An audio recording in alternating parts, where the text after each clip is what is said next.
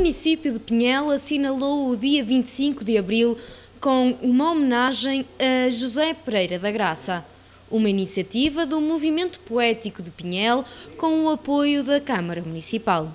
O Dr. Pereira da Graça eh, tem uma vasta obra, eh, nós eh, já nos tínhamos apercebido disso há uns anos, e foi mais um dos escritores que eh, eh, fizemos todo o, o, trajeto para estarmos hoje aqui nesta homenagem. Nós hoje, através, a Câmara apoiou esta iniciativa, é uma iniciativa do Movimento Poético Pinhalense, que quis homenagear um dos nossos autores pinhalenses, o Dr. Pereira da Graça, que é de facto um homem extraordinário da sua vida ligada à justiça, mas nunca deixou, deixou isso bem claro aqui hoje, nunca deixou a sua ligação à sua terra e fez livros, eh, naturalmente livros que têm a ver também com a história de. Eh, significa que, eh, em bom momento,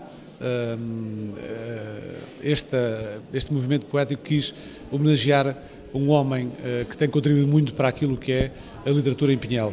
E por isso acho que é um momento que fica bem registado nos 45 anos da liberdade uh, das 45 anos do 25 de Abril. Uma homenagem a um escritor da cidade de Falcão que sentiu na pele a ditadura de Oliveira de Salazar e que encontrou na escrita uma forma de liberdade. Foi conquistada né? e olhe, eu vivi grande parte da minha vida, pessoal e profissional, dentro daquele, daquele sistema em que não se podiam fazer comentários sobre qualquer coisa em que se falasse de política ou de religião. Era tabu, até porque quando desabafávamos com qualquer pessoa, eh, se não fosse conhecida, ficávamos sempre na dúvida se poderíamos fazê-lo. Porque a mais simples observação podia levar-nos à cadeia.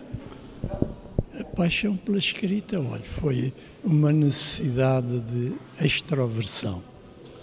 Eu sou muito introvertido uh, a falar com as pessoas, nomeadamente em grupo.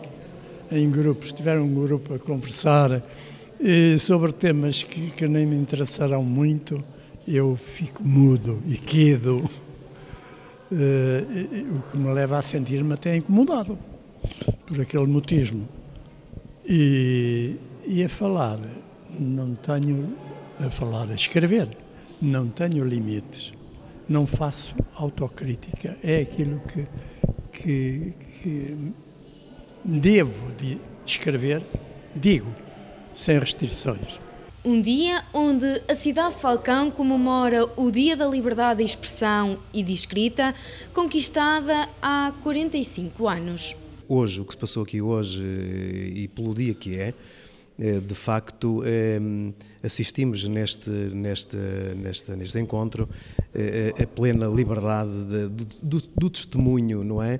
Que, que, se, que aqui se, se fez notar de um tempo bastante atrás, em, em, que tudo era mais cuidado e rebuscado. Essa questão que apontou, e muito bem, o, lápis azul, eh, não tem mais lugar e, portanto, falámos aqui abertamente nessas questões. Eh, muito, durante muitos anos eh, era custada essa liberdade a muitos autores, desta vez não é, e Pinhel quis fazê-lo desta forma mais cultural, trazer as pessoas até também aqui ao Passo Bispal, neste caso a Casa da Cultura, onde estamos também em três museus, a Casa e mais dois museus, e associar também aqui à, à literatura. O Dia da Liberdade foi assinalado em Pinhel, com uma homenagem ao escritor José Pereira da Graça, na Casa da Cultura.